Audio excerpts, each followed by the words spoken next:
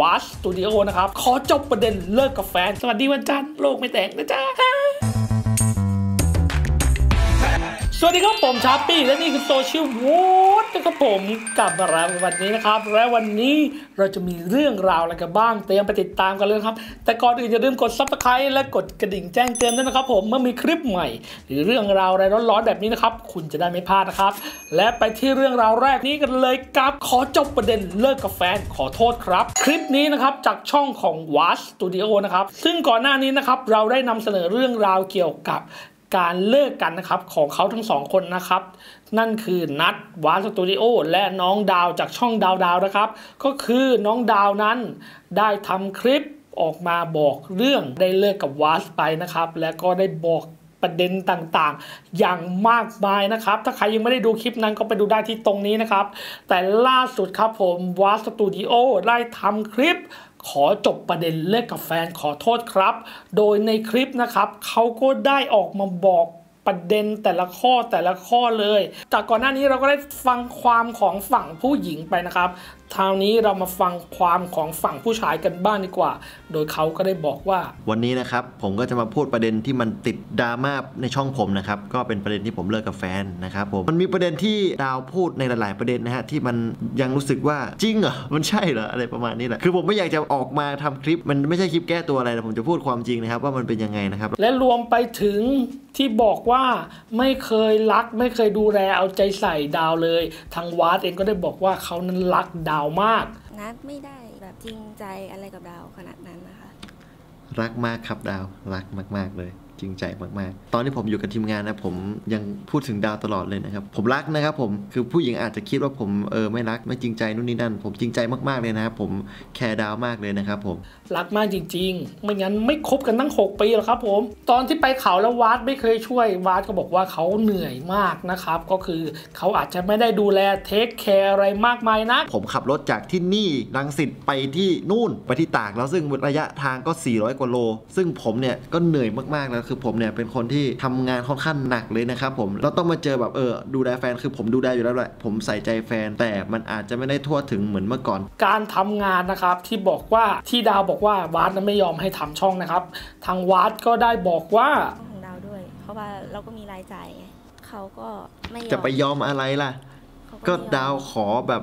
ไม่เอาเงินวัดแล้วก็ไปทำช่อง คือประเด็นคือจู่ๆบอกว่าไม่ไม่เอาเงินช่องอะไรอย่างเงี้ยคือผมมาแคร์ความรู้สึกดาวมากกว่าที่แบบว่าจะไม่เอาเงินวัดนะจะไปทำช่องอย่างเงี้ยแล้วดาวบอกว่าเอ้ยแล้วผมไม่ให้ทำช่องใช่ไหมเราเป็นหัวหน้างาน ใครจะโอเคมันเป็นการพูดประชดหรือเปล่าหรืออะไรหรือเปล่า แล้วไอ้ส่วนเนี้ยผมเคยคุยกับเขานะว่าเออถ้าจะทำช่องตัวเองอะก็อย่าให้มันไปชนคอนเทนต์วัดนะ เพราะว่าเดี๋ยวคอนเทนต์วัดน่ะมันคือเราสองคน ไม่อยากให้ดาวเนี่ยทำช่องของตัวเองเพราะว่าอยากให้ทุ่มเทกับ ช่องของวัดสตูดิโอนะครับเพราะอยากให้ช่องนี้ที่ทำมาด้วยกันนั้นไปได้ดีๆนะครับตอนนั้นผมอยากให้ดาวโฟกัสทำวาดด้วย ตอนนั้นช่องมันอยู่ในยอดวิวมันร่วง แล้วมันหลาย ๆ อย่างที่มันแบบไม่ค่อยลงตัวด้วยนะครับ แล้วคอนเทนต์ก็ยังไม่ได้แน่นอะไรขนาดนั้น แล้วดาวจะไปทำช่องด้วย คือผมอยากให้ดาวโฟกัสวาดก่อนถ้าวาดมันแบบโอเค แล้วก็ค่อยไปทำช่อง ไม่ได้แบบว่าห้ามทำเลย คือทำได้แต่อย่าให้ชดคอนเทนต์ช่องแค่นั้นเอง แต่จริงๆแล้วนัดเขาก็บอกว่า เขาอยากให้ประเด็นนี้นะครับมันจบไปนะครับ แล้วก็ไม่อยากพูดถึงดาวแบบเสียหายๆเลยเขาบอกอย่างนั้นจริงๆนะครับการเลิกบอกว่าเราเลิกกันแบบว่าไม่ควรต้องลงรายละเอียดแล้วมันเรื่องส่วนตัวมันเป็นแค่เรื่องของคนสองคนที่มันไม่ควรเอามาพูดเลยทุกคน แล้วอย่างที่เขาบอกว่าเอาไปเล่าเสียหายผมว่าดาวน่าจะเดือดจากน้องคนหนึ่งที่ผมได้บอกว่าเออตอนนี้พี่เลิกกับดาวแล้วผมก็พูดในมุมมองของผมให้เขาฟังไปนั่นแหละแค่นั้นเลยนะครับผม รวมไปถึงเขาก็บอกว่าเขามีภาระหน้าที่เนี่ย ที่ต้องทำอย่างมากมาย เขาก็ยอมรับว่าเขาอาจจะผิดก็ได้ที่ไม่ได้ดูแลดาวอย่างเต็มที่เหมือนเมื่อก่อนนะครับ นอกจากจะมีเรื่องของครอบครัว เรื่องของทีมงานของเขาและเรื่องของช่องนะครับที่เขาบอกว่าก็มีบางครั้งเนี่ยที่ยอดวิวเนี่ยมันเป๋ไปบ้างนะครับเขาก็ต้องแบบมุ่งมั่นทำในส่วนนั้นนะครับและสุดท้ายนะครับทางวัสตูดิโอนะครับก็ได้ให้น้องในทีมงานนะครับทั้งสองคนนะครับได้มาพูดเกี่ยวกับความรู้สึกว่ารู้สึกยังไงบ้าง น้องทั้งสองคนนั้นก็พูดพี่นัทเนี่ยเป็นคนดีแล้วก็แบบช่วยดูแลพวกเขานะครับ รวมไปถึงแบบไปเอาเขามาจากเด็กล้างรถเนี่ยมาช่วยแบบให้มีชีวิตที่ดีขึ้น รวมไปถึงเนี่ยเขาเนี่ยเป็นคนแบบทำงานแบบนอนดึกตื่นเช้า ตั้งใจทำงานกับช่องมากๆนะครับ ก็ไม่แปลกใจที่ยอด Subscriber ของเขานะครับจะพุ่งขึ้นมาเรื่อยๆนะครับตอนนี้ก็ 3 ล้านซับเข้าไปแล้วนะครับ และนี่ก็คือเรื่องราวประเด็นเลิกกับแฟนของ Was Studio ครับผมแล้วก็ไปที่เรื่องราวดีๆที่เกิดขึ้นในโลกโซเชียลกับช่วงข่าวดีๆกันบ้างดีกว่านะครับ กับ The Kingman Official Trailer 3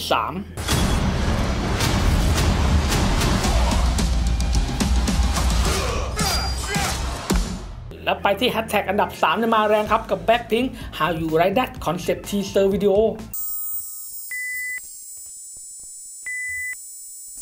how you like that?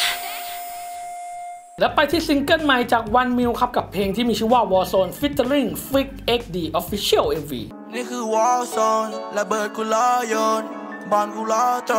แล้วไปที่ทาสแมวครับ ห้ามพลาดสำหรับ Xiaomi เปิดตัวสุขาแมวอัจฉริยะ ทำความสะอาดเองได้อัตโนมัติอะและนี่ก็คือช่วงข่าวดีๆนะครับ และไปต่อเลยที่ The Last of Us Part 2 ครับ ขึ้นแท่นเป็นแผ่นเกมที่ขายในช่วงวันเปิดตัวที่เร็วที่สุดในอังกฤษของปี 2020 นี้ไปแล้วนะตอนนี้ครับผม โดยค h ิ s โตเฟอร์ริงนะครับ นักข่าวในสื่อต่างประเทศนะครับ Games Industry นะครับทวิตรายงานว่า The Last of Us Part 2 ภาคต่อเกมแนวแอคชั่นผจญภัยของ PlayStation 4 นะครับ ได้ขึ้นแท่นเป็นวิดีโอเกมที่สามารถขายแผ่นเกมได้เร็วที่สุดในประเทศอังกฤษประจำปี 2020 เป็นที่เรียบร้อยแล้ว ณ ตอนนี้นะครับ นอกจาก Dring นะครับ กล่าวว่ายอดขายของแผ่นเกมช่วงเปิดตัว The Last of Us 2 นะครับ สามารถทำได้ดีกว่าเกมภาคแรก รวมถึงเกมดังกล่าวนะครับ กลายเป็นเกมของ Sony ที่ขายเร็วที่สุดแซงหน้า Uncharted 4และ God of War และ Marvel Spider-Man อีกด้วย อย่างไรก็ตามนะครับ ยอดขายแผ่นเกม และยอดขายดิจิตอลของ The Last of Us 2 นะครับ ยังไม่มีตัวเลขที่แน่ชัด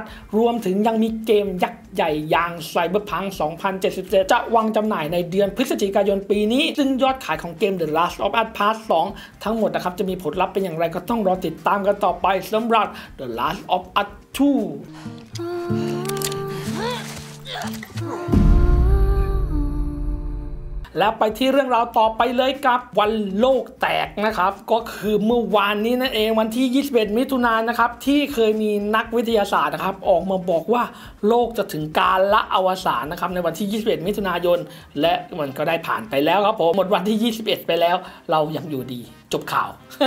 จริง ๆ เรื่องคำทำนายวันสิ้นโลกนี้นะครับ มีอยู่กับสังคมมนุษย์นะครับมาอย่างยาวนานมาก เริ่มตั้งแต่ปี 1843 นะครับ ชาวนาคนหนึ่ง ศึกษาคัมภีร์ไบเบิลด้วยตัวเอง แล้วตีความแบบมั่วๆว่าพระเจ้าจะทำลายล้างโลกปลายเดือนมีนาปี 1844 แล้วไปเป่าประกาศจนมีสาวกหลงเชื่อมากมาย คนก็เชื่อว่าโลกจะแตกนะครับ เลยเอาข้าวของที่มีไปแจกจ่ายชาวบ้าน เพราะในไหนๆโลกก็จะแตกอยู่แล้วนี่ว่า สุดท้ายเดือนมีนาคมก็ผ่านไปโรคไม่แตกสาวกหมดตัวแยกย้ายแยกย้าย แล้วก็ยังมีอีกนะครับในปี 1910 นะครับดาวหางฮันเล่มาเยือนโลก มีคนไปปล่อยข่าวบอกว่า หางของดาวหางฮันเล่นะครับเป็นก๊าซพิษ ถ้าผ่านโลกเราจะตายกันหมดด้วยก๊าซพิษ คนก็พากันแตกตื่นกันทั่วโลกครับ สุดท้ายดาวหางฮันเล่ก็ผ่านไปครับ โลกไม่แตก และยังมีอีกในปี 1997 ครับดาวหางเฮลบอฟครับมาเยือนโลก สาวกรัฐทิจานบิน เชื่อว่าดาวหางจะพาจานบินมาด้วย แต่นาซาปิดข่าวและพวกนี้เชื่อว่าเมื่อดาวหางมาถึงนะครับประตูสวรรค์จะเปิดออก วันสิ้นโลกจะมาเยือน สาวกรัฐทิจานบินที่อเมริกานะครับฆ่าตัวตายไป 39 คน ในปลายเดือนมีนาคม 1997 แต่ดาวหางก็ผ่านไปแล้วก็ยังโรคไม่แตกนะครับ และในปี 1999 นะครับ คนเอาหนังสือนอสตาดามุสมาตีความเป็นตุเป็นตาบอกว่าปี 1999 เดือนที่ 7 เจ้าแห่งความสยองขวัญจะมาจากฟากฟ้า คนก็ตีความกันว่านั่นคือวันสิ้นโลก แต่ปี 1999 ก็ผ่านพ้นไปนะครับ ไม่มีอะไรเกิดขึ้น แล้วไปที่ปี 2000 นะครับ ยุค Y2K นะครับ มันเป็นเรื่องทางเทคนิคของคอมพิวเตอร์แก้ไขไม่ยาก แต่มีคนเอาไปตีความกันว่า จะเกิดภัยพินาศครั้งใหญ่เพราะระบบไอทีล่มสลายทั่วโลกบาบาบานะครับ ระบบจะยิงขีปนาวุธนุกทั่วโลกมั่วไปหมด แบบในหนังคนเหล็กวันสิ้นโลกในปี 2000 แต่ก็ไม่มีอะไรเกิดขึ้นครับและในปี 2012 นะครับ ก็มีคนปล่อยข่าวลืออีกว่าวันสิ้นสุดของปฏิทินชนเผ่ามายา จะเป็นวันสิ้นโลก แล้วก็ผ่านปี 2012 มาโดยไม่มีอะไรเกิดขึ้น แต่พอปี 2020 ก็คือปีนี้ก็คือเมื่อวานนี้นะครับ วันที่ 21 มิถุนายนที่ผ่านไป ก็บอกอีกว่าปี 2012 นั้นคำนวณผิด จริง ๆ แล้ววันสิ้นสุดปฏิทินคือเมื่อวานนี้ แล้วก็ผ่านพ้นไปโดยไม่มีอะไรเกิดขึ้นนี่ครับผม เราก็แตกตื่นกันใหญ่เลยนะ แต่นั่นแหละครับผม มันก็ทำให้เราได้ฉุกคิดได้ว่า ถ้ามีอะไรที่อยากทำนะครับไม่ต้องรอทำวันสิ้นโลกก็ได้ มีอะไรดีๆ มีอะไรที่สวยงามอีกมากมายนะครับ ให้เรารีบทำเพราะเราจริง ๆ เราก็ไม่รู้ว่าชีวิตเราอะจะสิ้นสุดวันไหนจริงๆนะครับก็รีบทำในสิ่งที่อยากทำนะครับ มีอะไรอยากทำอยากบอกรัก พ่ออยากบอกรักแม่อยากกอดหอมท่านทุกวันนะครับ อยู่ใกล้ๆท่านก็ทำอย่ารอให้วันสิ้นโลก หรือวันที่เราไม่มีชีวิตอยู่แล้วนะครับ ผมก็ฝากไว้ด้วยครับ ผมทำเลยไม่ต้องรอวันสิ้นโลก อยากบอกรักใครอยากทำอะไร ที่ไม่เดือดร้อนคนอื่นนะครับทำเลย และนี่ก็คือเรื่องราวทั้งหมดที่เกิดขึ้นภายในวันนี้นะครับ ชอบใจคลิปแบบนี้อย่าลืมกดไลค์กดแชร์เป็นกำลังใจ ที่สำคัญกด subscribe และกดกระดิ่งแจ้งเตือนด้วย จนกว่าเราจะพบกันใหม่นะครับ กับโซเชียลวูดวันนี้ ลาไปแล้วสวัสดีครับบายได้ขึ้นเป็นแท่นได้ขึ้นเป็นแท่น เปิดเผยข้อมูลมาเปิดเผยข้อมูลทุย เปิดเผยข้อมูลมาด้วยเช่นกัน การเปิดเผยไอการเปิดเผยข้อมูลครั้งนี้นะครับ